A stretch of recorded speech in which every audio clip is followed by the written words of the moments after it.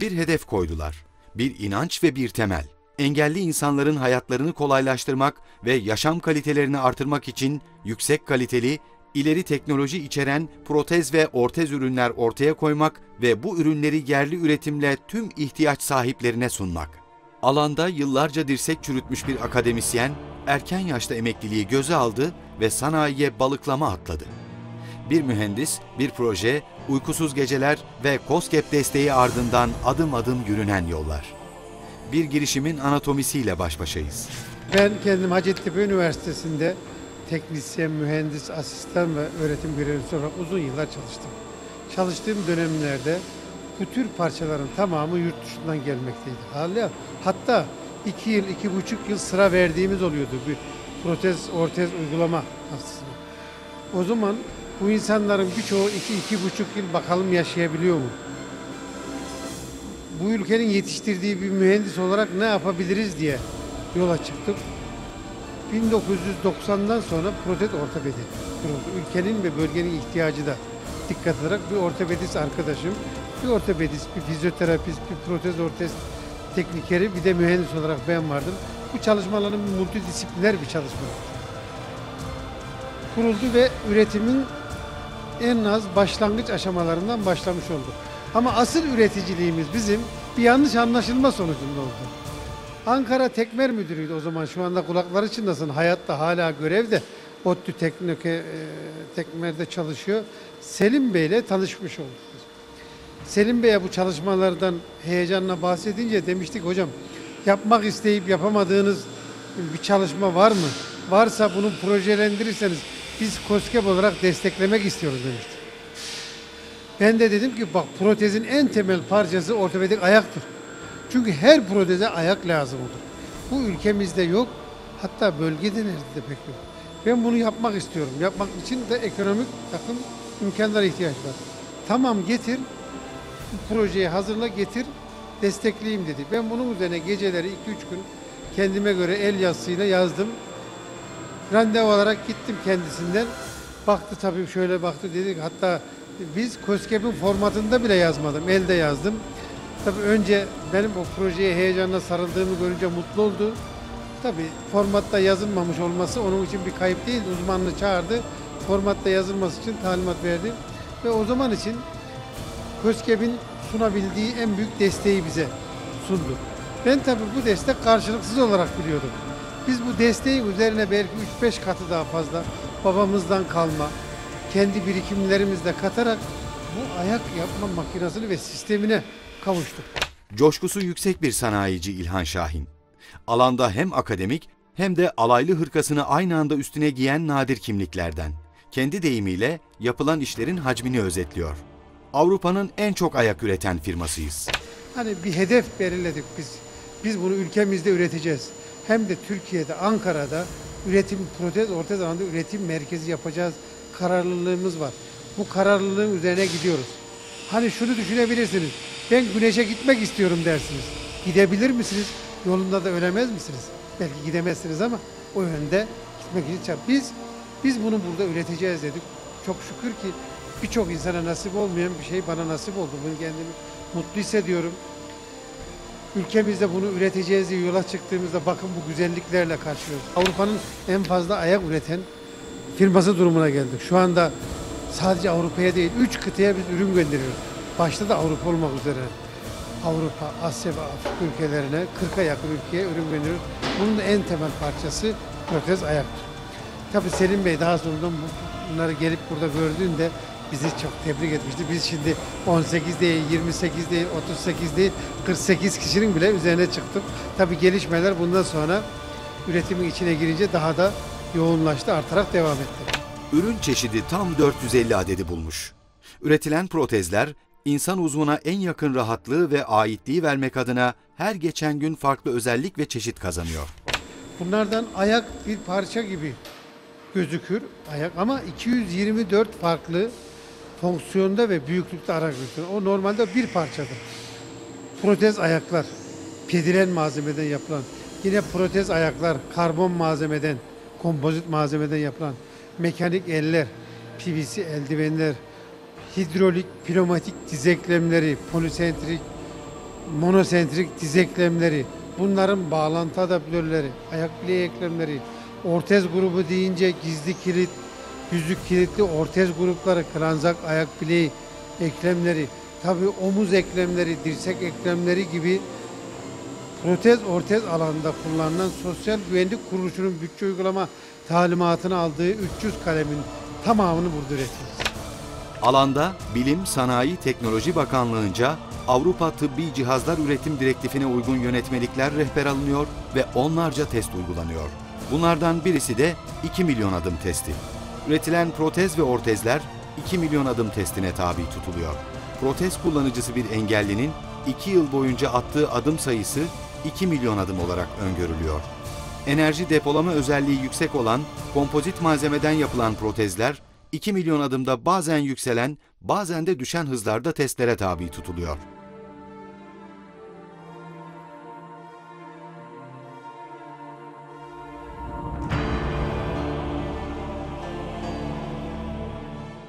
Dünyada onlarca ülke insanı firmanın üretimlerini kullanıyor. Sağlık çözümleri farklı diller, dinler ve ırklar tanımıyor. Mesele kaliteli ve ihtiyacı karşılayan üretim. Hatta öyle ürünler var ki maksimum inovasyonla ödüller kazanmış.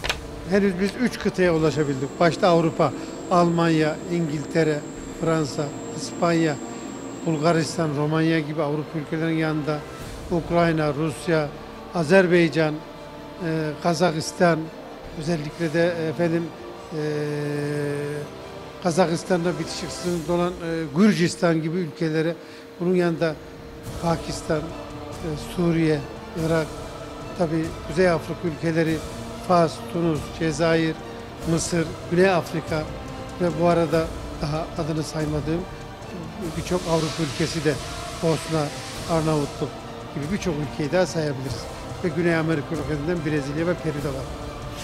Afrika ülkesinden bize sipariş geliyor. O taleplerden birisi acaba üreteceğiniz ayaklar işte Afrikalı insanın ten rengine yakın olabilir mi diye bir talep geliyor.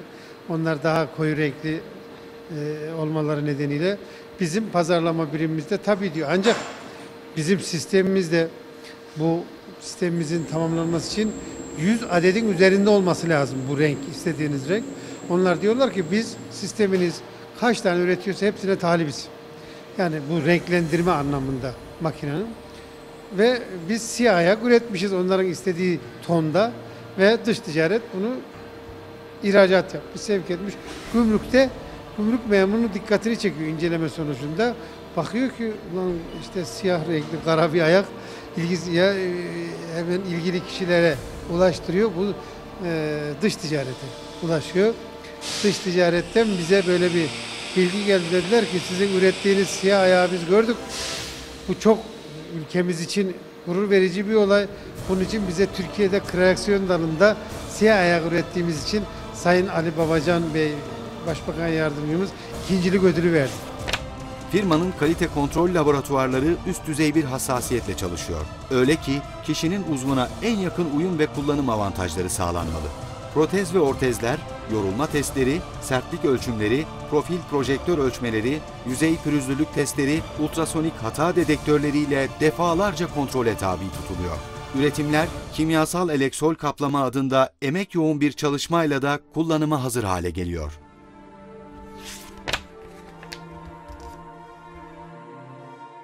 Ateş düştüğü yeri yakıyor.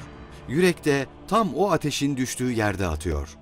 Ateşin düştüğü ve bir anda hayatın bambaşka yüzleriyle karşılaşan insanlara mikrofonumuzu uzattık.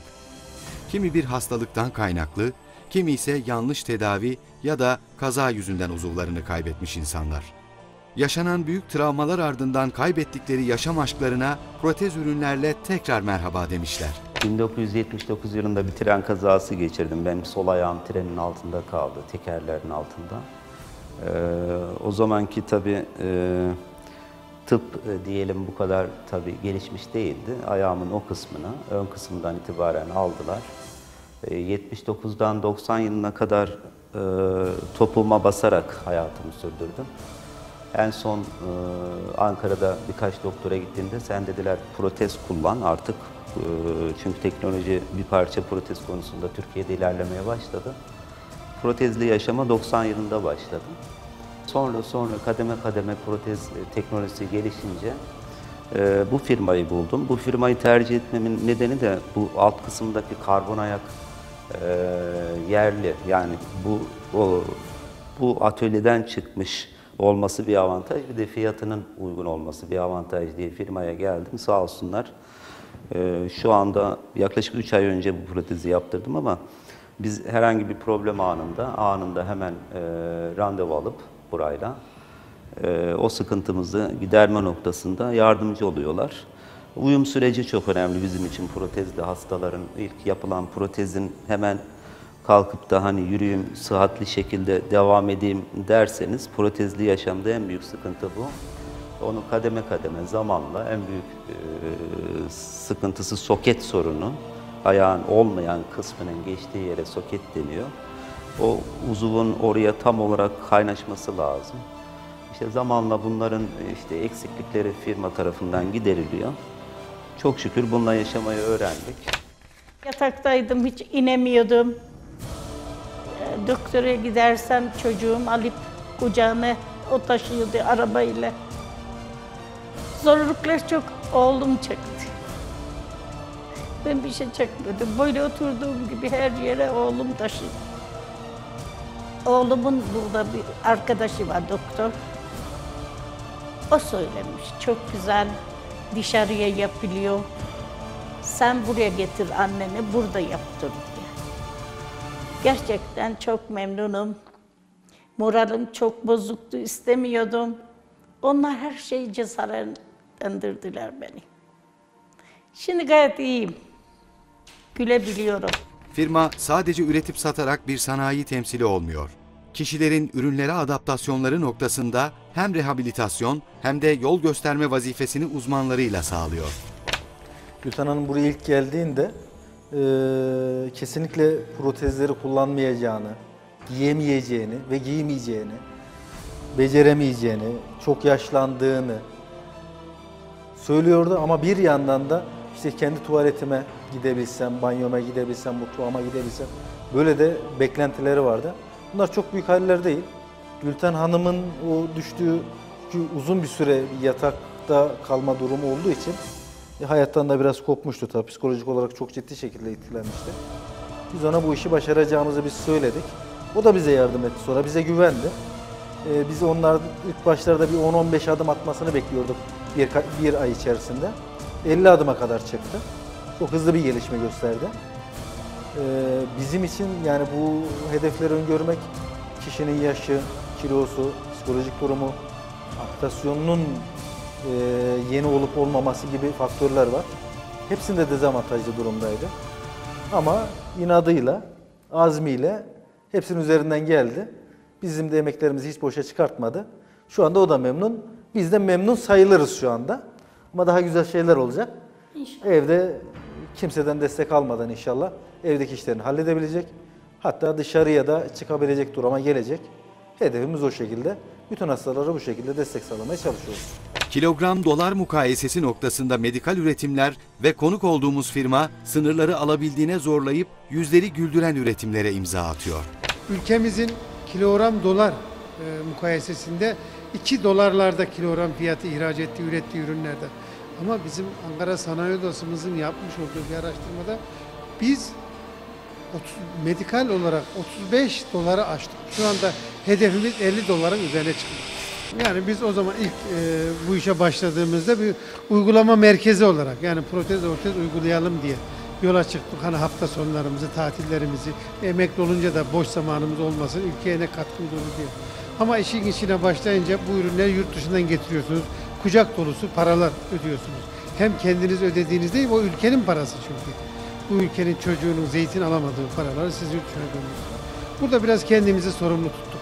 Madem mühendis olmuşuz, bu ülke bize bu e, formasyonu vermiş, bu birikim var. O zaman dedik ki biz bu taşın altına elimizi koyalım ne kadarını üretebilirsek hem kendimiz için hem ülkemiz için bir katkı olur dedik.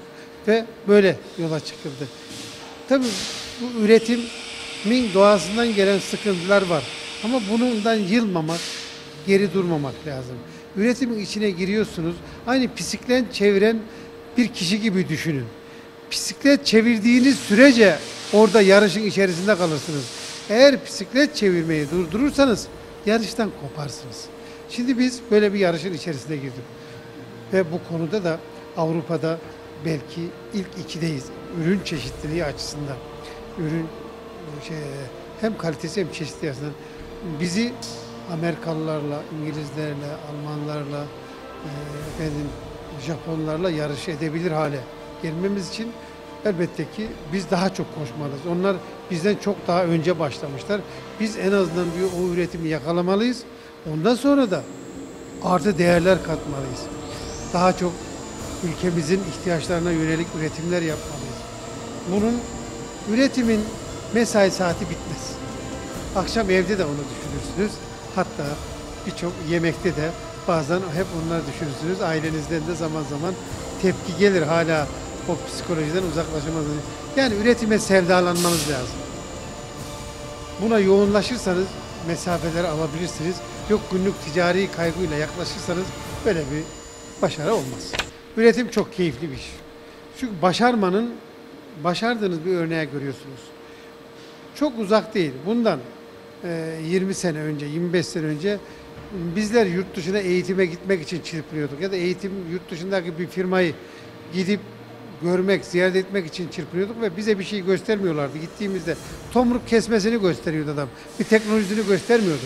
Şimdi artık ülkemiz bu arkadaşlarımız eğer kendileri gönül verirse bunu başarmak için şunu yapacaklar.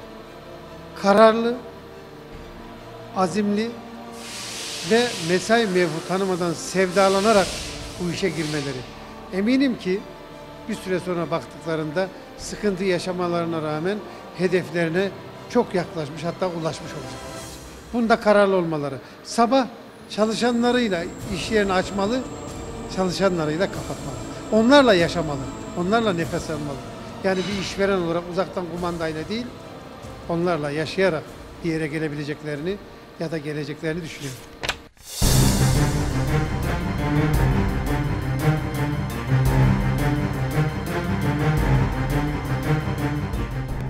Ben güneşe gitmek istiyorum dersiniz. Gidemeyebilirsiniz.